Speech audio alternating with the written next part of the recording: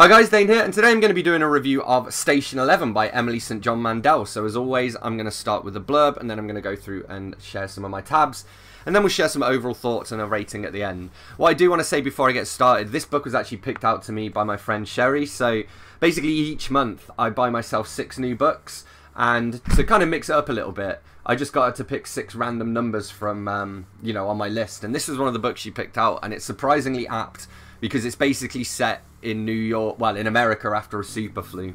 Anyway, the blurb. Winner of the Arthur C. Clarke Award 2015. What was lost in the collapse? Almost everything, almost everyone, but there is still such beauty. One snowy night in Toronto, famous actor Arthur Leander dies on stage whilst performing the role of a lifetime. That same evening, a deadly virus touches down in North America. The world will never be the same again. Twenty years later, Kirsten, an actress in the Travelling Symphony, performs Shakespeare in the settlements that have grown up since the collapse, but then her newly hopeful world is threatened. If civilization was lost, what would you preserve? And how far would you go to protect it?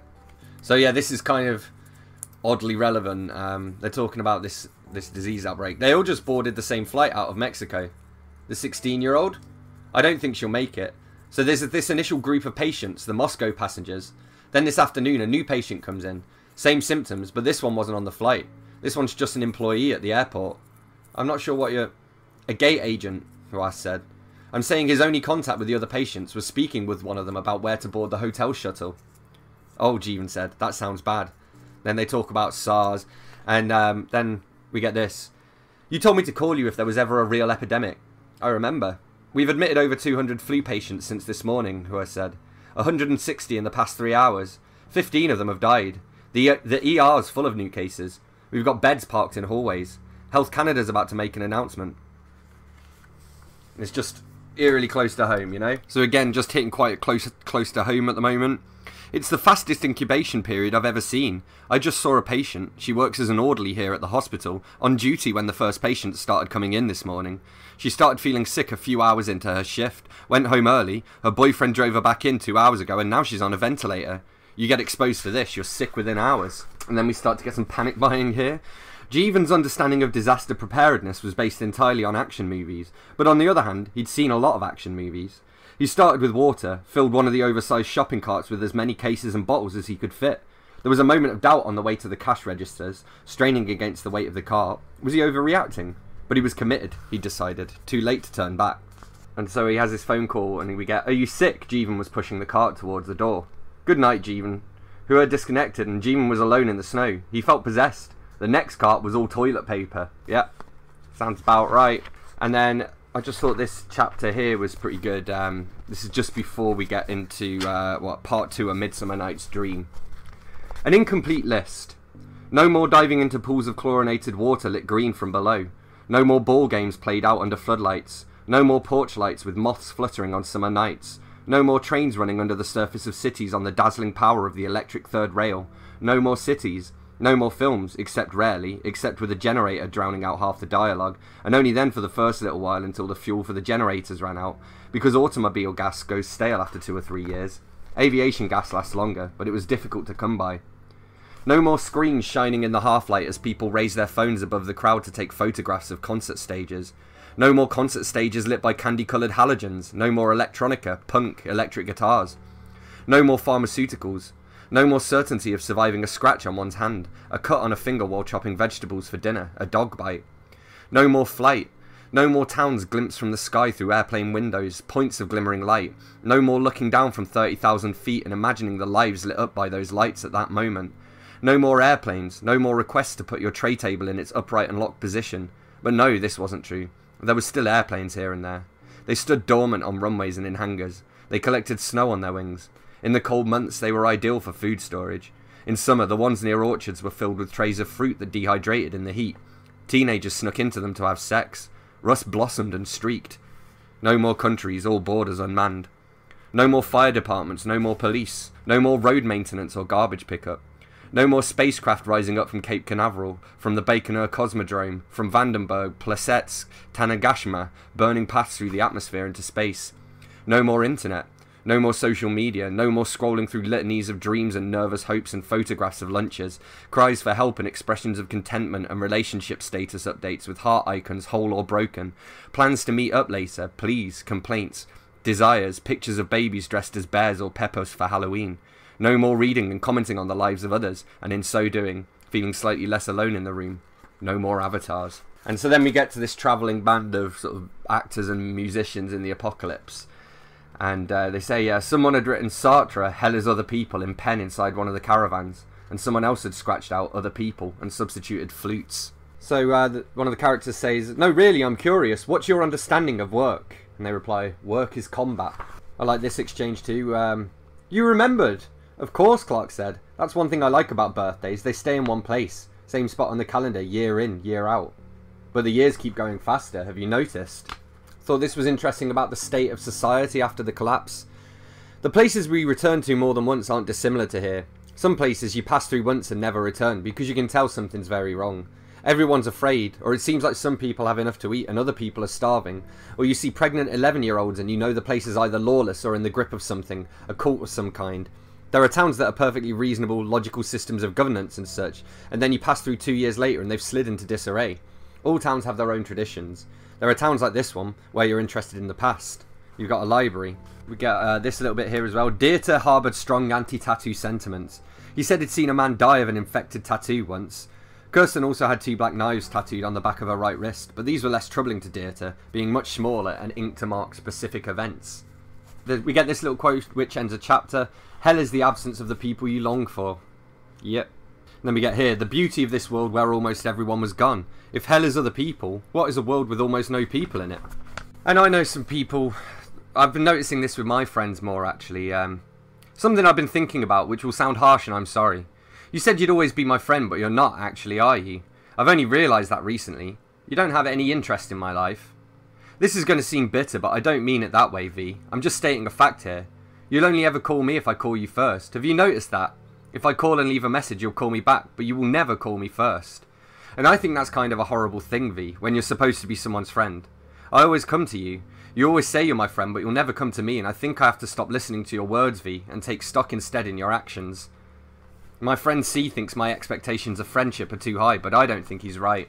And one of the characters here says, Everyone knows when you've got a terrible marriage. It's like having bad breath. You get close enough to a person and it's obvious. And uh, someone's surprised that this celebrity washes dishes, and they say, Yeah, the housekeeper was talking to the press, so I fired her and then the dishwasher broke. Then someone's singing It's the End of the World as We Know It by REM. Which interestingly, I saw a list on Spotify. They said this is one of the songs that's recently had a resurgence in popularity because of coronavirus. We have a character who's going through withdrawal because she's missing her antidepressants. One of the unexpected benefits here, it goes, uh, Clark had never thought much about airport design, but he was grateful that so much of this particular airport was glass. They lived in daylight and went to bed at sundown because they're all trapped in this airport, you see. And it's true, they're lucky there that they were in an airport so that they can actually see things. Thought this was kind of terrifying as well. I don't think this is a quarantine, Clark said. I think there's actually really nothing out there, or at least nothing good. There were, in fact, a number of solid arguments against the quarantine theory, namely that the pandemic had started in Europe, the last news reports had indicated chaos and disarray on every continent except Antarctica, and anyway, how would one even go about isolating North America in the first place, given air travel and the fact that South America was after all more or less attached? Okay, we've got two bits on this page I want to highlight. So uh, I want to read these two paragraphs here about life in the airport. They traded languages, by day 80, most of the people who'd arrived without English were learning it in informal groups, and the English was studying one or more of the languages carried here by Lufthansa, Singapore Airlines, Cathay Pacific, and Air France. Clark was learning French from Annette, who'd been a Lufthansa flight attendant. He whispered phrases to himself as he went about the chores of daily existence, the hauling of water and washing of clothes in the sink, learning to skin a deer, building bonfires, cleaning. Je m'appelle Clark, j'habite dans l'aéroport. Tu me manques, tu me manques, tu me manques which means I miss you, I miss you, I miss you. Well, technically it means you are missed, you are missed. Well, you are missed by me, because tuma is reflexive, so to me, you, me, missed. A rape on the day, a rape on the night of day 85. The airport woken after midnight by a woman's scream. They tied the man up until sunrise and then drove him into the forest at gunpoint. Told him if he returned, he'd be shot. I'll die out here alone, he said, sobbing. And no one disagreed, but what else could they do? I, this this amused me here as well. This uh, resupply. The scouting party returned the next day, exhausted and cold, with with three steel carts from an industrial kitchen piled high with supplies. They'd found a Chili's that no one had looted yet, they said, and they'd spent the night shivering in booths. They had toilet paper, Tabasco sauce, napkins, salt and pepper, enormous tins of tomatoes, dinnerware and bags of rice, gallons of pink hand soap, enormous tins of tomatoes. I've got to show you this. Check it out, enormous tins of tomatoes. They got some of these. These are heavy. This is 2.5 kilograms. Sold it in the corner shop, so I was like, might as well stock up. And then I wanted to read this bit out as well here. Um, a day later, the first stranger walked in. They'd taken to posting guards with whistles so that they might be warned of a stranger's approach. They'd all seen the post-apocalyptic movies with the dangerous stragglers fighting it out for the last few scraps. Although actually, when she thought about it, Annette said, the post-apocalyptic movies she'd seen had all involved zombies. I'm just saying, she said, it could be much worse. But the first man who walked in under low grey skies seemed less dangerous than stunned. He was dirty, of indeterminate age, dressed in layers of clothes, and he hadn't shaved in a long time. He appeared on the road with a gun in his hand, but he stopped and let the gun fall to the pavement when Tyrone shouted for him to drop it. He raised his hands over his head and stared at the people gathering around him. Everyone had questions. He seemed to struggle for speech. His lips moved silently, and he had to clear his throat several times before he could speak. Clark realised that he hadn't spoken in some time. I was in the hotel, he said, finally. I've followed your footprints in the snow. There were tears on his face.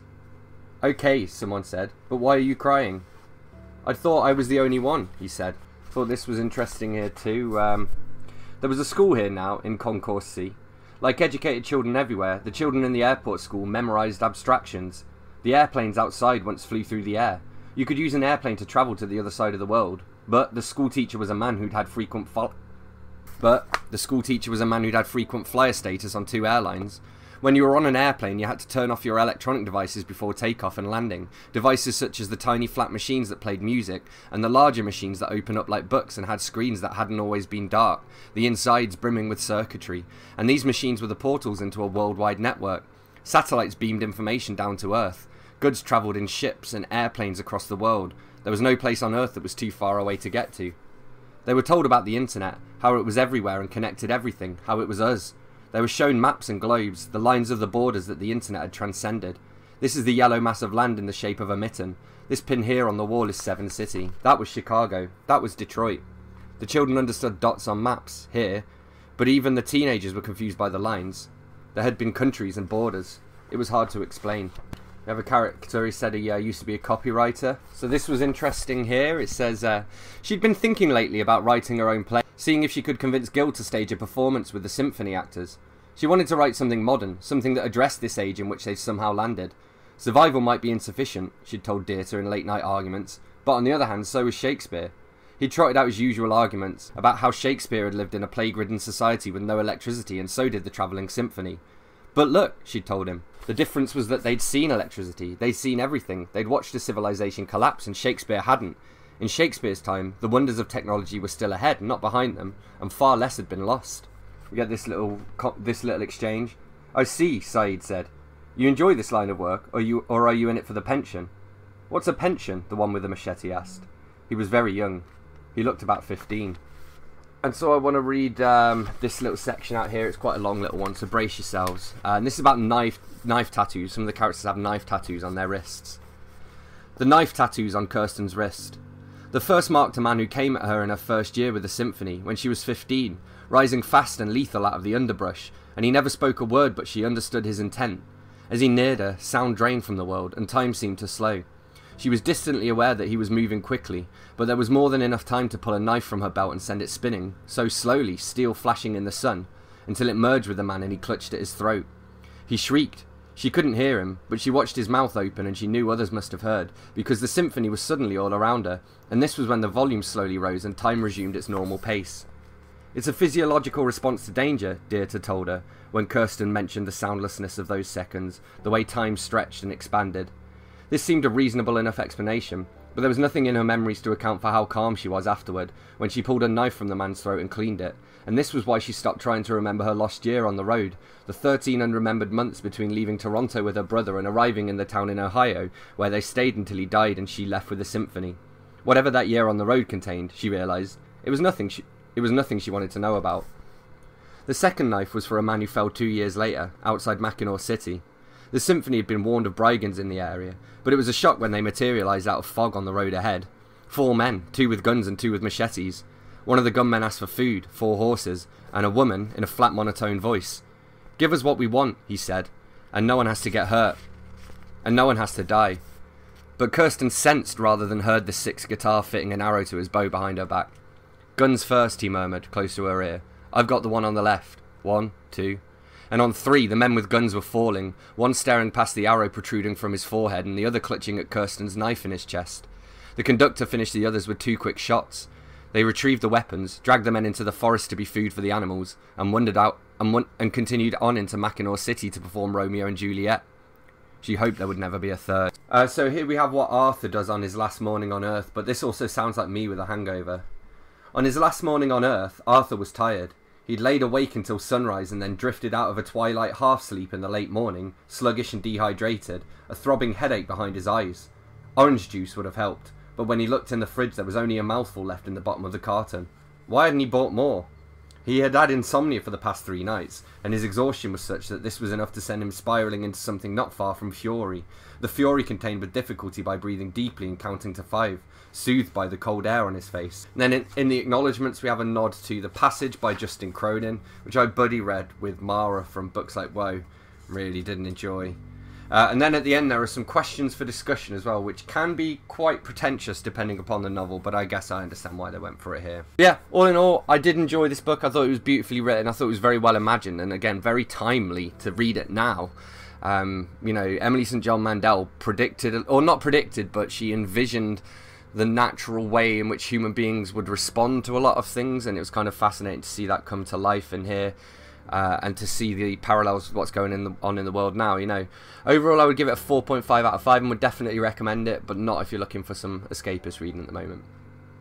So there we have it, that's what I made of Station 11 by Emily St. John Mandel. As always, don't forget to let me know in the comments what you thought of this book if you read it. Hit that like button if you've enjoyed this video, hit subscribe for more, and I'll see you soon for another bookish video. Thanks a lot, bye bye.